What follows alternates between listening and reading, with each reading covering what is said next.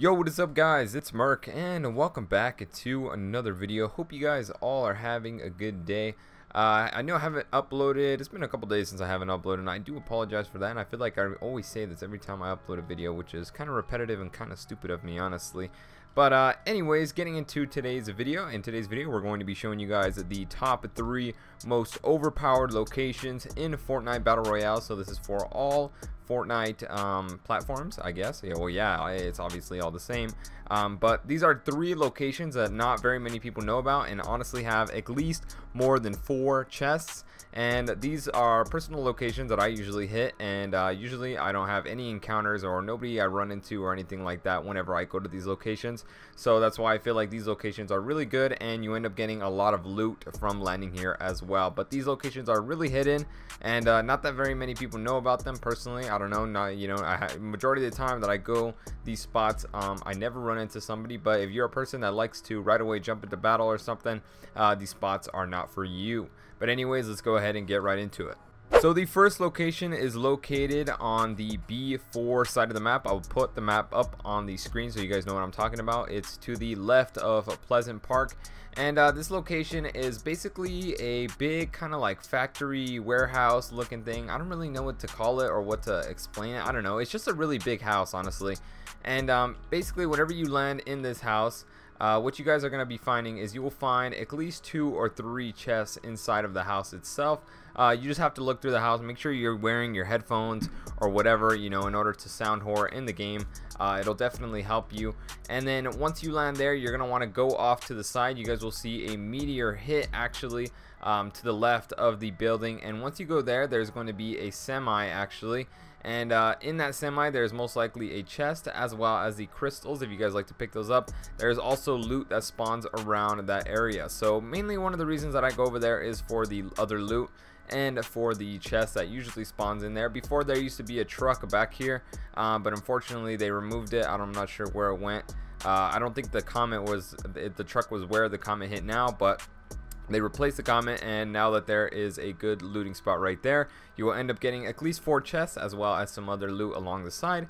And uh, yeah that's the first location. The second location we have is right next to it. It's actually in almost the same spot. It is also in B4 on the map uh, a little bit on B4 and B5 it is the mountain or the evil lair that is located on the B4 B5 side of the map and uh, I will show you guys exactly where it's at on the map so you guys aren't confused or you know not knowing. I'm gonna show you guys gameplay as well so you guys know exactly what I'm talking about.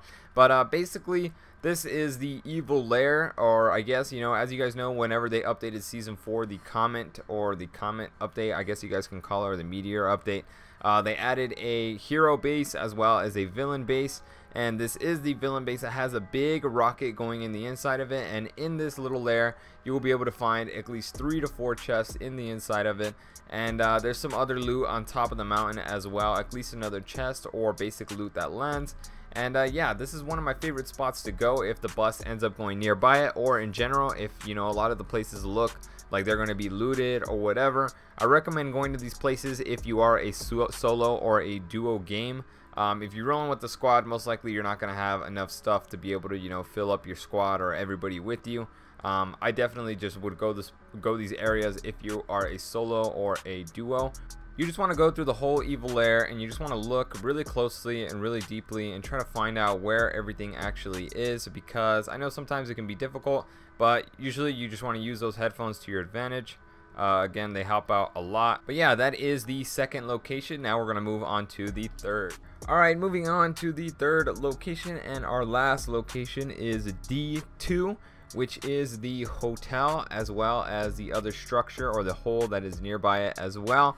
Um, if you guys have not gone to the little motel in D2, uh, I recommend going to this place. Usually there is a lot of chests that land here, not only in the abandoned houses next to it, but in the motel itself. You will find at least three to four chests throughout this whole thing, maybe even five, I believe, as well as the regular loot that it drops off on the side, or the uh, I don't even know what they what they call it. I, am trying to think of the name here right now, or it's just the loot that's on the floor already in the game. Um, but you just want to go through this whole motel. There's like three chests that spawn in this motel usually. And then in the outside, in the abandoned houses, there at least is one chest or two chests in both the abandoned houses.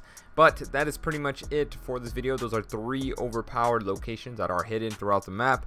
Hope you guys did enjoy this video. And if you guys did find it useful, if you guys could help me out with a like, that'd be super, super appreciated. If we could get this video to 30 likes, that would make my day. Hope you guys all have a good rest of your day. I've been MerK, and I will see you guys later.